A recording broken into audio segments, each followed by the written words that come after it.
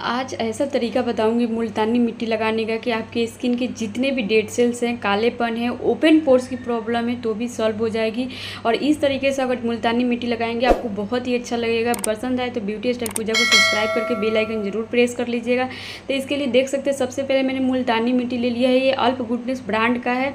एकदम प्योर मिलता है। आप इसी को ले सकते हैं ताकि आपके स्किन पर कोई भी प्रॉब्लम ना हो।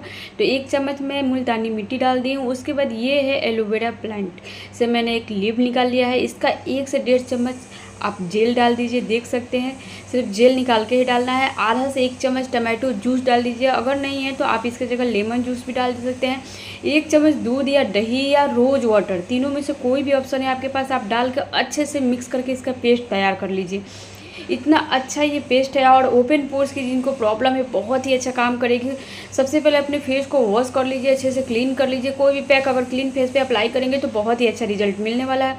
उसके बाद इसको पूरे फेस पे नेक पे अप्लाई कर लीजिए, क्योंकि अब समर सीज़न शुरू हो जाएगा, गर्मियों में मुल्तानी मिट्टी लगाने का अलग ही मज़ा है, क्योंकि आपके स्किन को ठंडक देगा कूलिंग इफ़ेक्ट देगा और इसमें एलोवेरा जेल जो है आपको अच्छे से फाइन लाइन को दूर करेगा, कालापन को दूर करेगा। मैंने इसको पंद्रह से बीस मिनट रखा था। ड्राई हो जाने के बाद फेस को वॉश करके दिखा रही हूँ। बहुत ही बेनिफिट वाला रिज़ल्ट है। रिज़ल्ट इसका है। आप चाहे तो आप इसको वीक में दो से तीन बार लगा सकते हैं। रेमेडी पसंद आती है तो लाइक कर दीजिए चैनल को सब्सक्राइब कर दीजिए और कमेंट ज़रूर करिए कहाँ